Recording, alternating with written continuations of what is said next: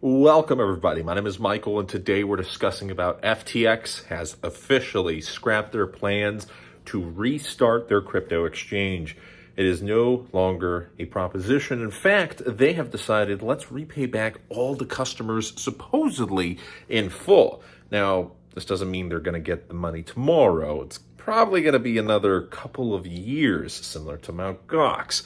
And by in full, there's also, similar to Mt. Gox, are they going to get what they lost or are they going to get the accurate values of their tokens? For some tokens, they may be less than what you lost. In those cases, obviously you should get what the total amount of money that you lost. But in other cases, such as in Bitcoin and usually not the meme coins and crap coins, a lot of these tokens have gone up in value since FTX fell down. Case in point, Solana. So what do you do? In Mt. Gox, you had a lot of people make more money. And Mark Karpelès, the main CEO, also came out. Yes, he did spend a little time in jail, but he made a lot of money thanks to Bitcoin rising. In this case, though, it's looking to be more like they're just going to get back what they lost. There's going to be a lot of legal fees that also have to be paid, millions and millions of dollars for the top law firms in the world.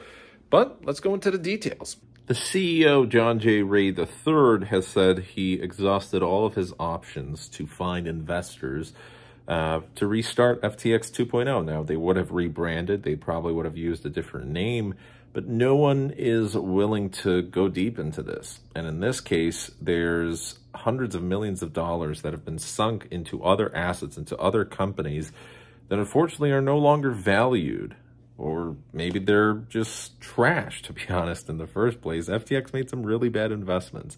Uh, whether that's crypto companies, whether that's outside of crypto, there was some weird stuff going on with FTX. And people don't want anything to do with it. There was way too much news attention, and any billionaire or any company, that's bad PR for them. And what happens if they lose hundreds of millions of dollars? It's a lot of capital that's needed. So FTX has said, thanks to Solana increasing, things to other properties increasing assets, right now they have enough money to pay back all customers in full. But the caveat is this is based off of the petition date. So since there was initially a two-year period, essentially, yes, a lot of assets, a lot of tokens did go down in value. And the petition date does mean that a lot of investors aren't going to feel like they were paid in full. Petition date means that maybe they might get 50% of what they were expecting. But based off of those values, supposedly, whatever the tokens are valued at, we're talking about billions of dollars here, but everybody should get their money back. So once everything is approved by the judge, which is certainly heading that way, the U.S. Bankruptcy Court will require claimants to submit proof that they did lose money, which also means if you don't have proof, you may not get your money back. And that's tricky because I was a crypto investor for many years who have held a, on a lot of platforms which simply don't exist anymore. There were some cases where it was five figures, some losses. Now, in this case, it was losses. It wasn't, you know, the bankruptcy. It wasn't similar to FTX where there was crime involved and, hey, I'll get the money back. I, I knew the money was lost. It was my mistake. I made trading mistakes. But for taxes, it gets a little tricky. It's like, well, okay, you did lose this money, but where's the proof? Some of these cryptocurrency exchanges are gone. So did I claim everything I lost? I don't know. I mean, I, I don't even know, personally, I don't know the true scope of all the tokens that I've lost in value. I'm guessing it's it's a pretty close number, but maybe I'm thousands of dollars off. And in that case, that's thousands of dollars that could be saved on taxes, just, just for that one example there. So in this case, someone may have lost $50,000, of which maybe they can only prove $10,000 of that. Well, they just lost $40,000 because the guy next door thankfully took screenshots or a video or I don't know the exact proof and how they will go about verifying everything. Maybe there's data on the platform that certain lawyers will be able to fight for, especially if we're talking about millions of dollars. But, you know, with FTX imploding, around 15 million 15 million people worldwide were impacted by this implosion. Anywhere from 30 to 35 billion dollars was lost. Now, yes, this is FTX and the following, you know, chaos that ensued. But you have millions of FTX impacted customers who now this is going to be a huge years long process where people are going to be fighting to try and get as much money back and not everybody's going to be happy because maybe you know some of these tokens they probably lost 90% of their value up until boom you know that period where the bankruptcy was filed. So it, it's something. It's not going to make everybody happy but not everyone um, to be honest very few people wanted ftx 2.0 i mean who would have trusted ftx again so even though it's under different management, it, it still is a company that's associated with a lot of really bad things. It's kind of like Comcast rebranding to Xfinity or Time Warner Cable rebranding. I mean, there, there's just a bunch of this stuff, you know. Spectrum, ooh, you're, you're still the same devil, you know, in disguise. With everything going on right now, Sam Bankman-Fried will find out his decision whether he's going to spend the rest of his life in prison within the next couple of weeks. And recently, uh, earlier this month, there was news that with SBF, they're not going to charge him for the other, uh, there was going to be another court case, but it's just a waste of taxpayer funds because at this point, whether he gets, you know, 50 years in prison or 100 or 200 or 300, it's, it's pointless. It's just, it's going to be a waste of taxpayer money.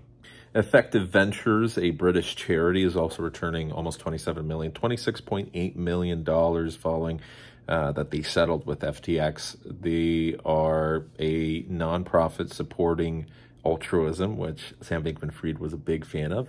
And FTX is trying to get money from pretty much every source you can think of.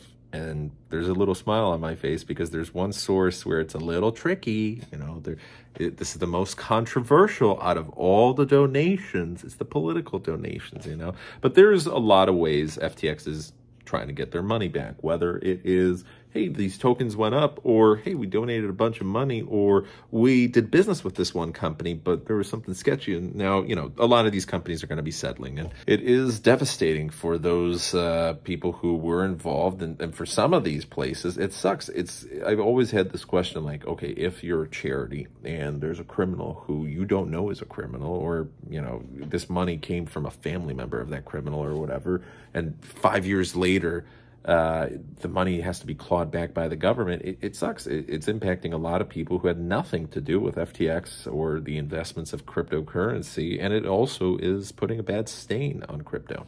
So SBF will not be facing an additional six charges that uh, there was supposed to be a second trial for. At this point, he was found guilty on many counts, and sentencing is just around the corner. Tomorrow is a new month, February, and tomorrow we'll be able to say next month we will know what's happening to SBF. March 28th, it's just a couple weeks away. A couple weeks right before the Bitcoin halving as well, so very exciting. Unfortunately, cryptocurrency has been impacted negatively, but we will recover. We already have recovered in many ways. And hopefully those who have lost money will be able to get that. Maybe this year, maybe next year, maybe in a couple of years, but eventually you'll get the money back. It also is a terrible thing to think about where in, in certain cases, you know, if it's an elderly client or if it's, you know, something something terrible happened to somebody, there's so many millions of customers. There's $8 billion that is supposed to return back to customers. That's a lot of money we're talking about so much, in fact, that some of these customers, uh, just like in the case of Mt. Gox, they may not be alive to finally see their money coming back. And in some cases, it's life-changing amounts of money, hundreds of thousands of dollars, millions of dollars. Maybe they were rich during the crypto boom and you know, they lost it all because it's kind of like a, you know, you put your money in a bank and yes, you shouldn't keep your money on an exchange, but you, you go put your money into a bank and turns out it falls and you know you had more than 250,000 FDIC and whatever or the some some scam you, you put it into a Ponzi scheme and, and that's it. And you lost everything and now you're in debt for the rest of your life. It, it's terrible to think about. But with that said we have a lot of exciting stuff happening. By the way the most exciting of which for this channel we still have our Christmas tree. It will be going down very soon, although I miss Christmas, but I had my birthday. And with that, my lovely wife has helped me purchase, boom, a new computer. We finally have it.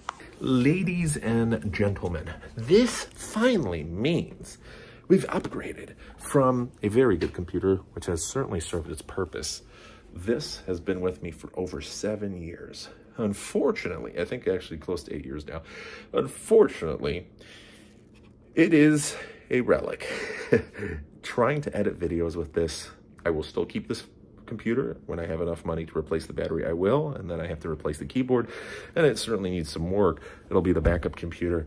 But trying to edit videos when Final Cut crashes five times and it has problems even running Microsoft Excel, well, it certainly has served its purpose. Unfortunately, uh, especially nowadays with, you know, 4K video and, and these file sizes becoming so big, it just trying to import crashes, not even talking about rendering. So now it's like, again, going from a clapped out Honda Civic or Hyundai to a Ferrari that's just so fast. You import videos, boom, boom, render, boom. Something that took me 30 minutes on that computer. Now I did it in two minutes. Rendering, boom, everything's done. I can upload. And at the same time, I can use Photoshop for the thumbnails and everything. I can multitask again. Woo! Super exciting. What does this mean? We're going to be making more content. You've finally been waiting for this moment. We're going to be making more content, baby. And I have very exciting news that we are close to announcing. Uh, it's going to be announced in the next couple of weeks here. It is only positive from here on out for the channel and hopefully for life as well. So thank you to everybody who's been watching. I really appreciate all of you guys. Uh, we are going to do everything we can to turn this channel into a powerhouse and hopefully start investing again next year, maybe, or this year. But uh, with that said, thanks for watching. Have a good one. And my other channel is popping off. It's at 125 subscribers now. Ooh, we're getting there. So if you can't, if you're interested in car sales or Volvo, or you just want to support my other channel, please head on over there if you can subscribe. If not you know at least you know watch a couple videos or like or something. Really appreciate that. Thanks so much and you guys have a good rest of your day. Take care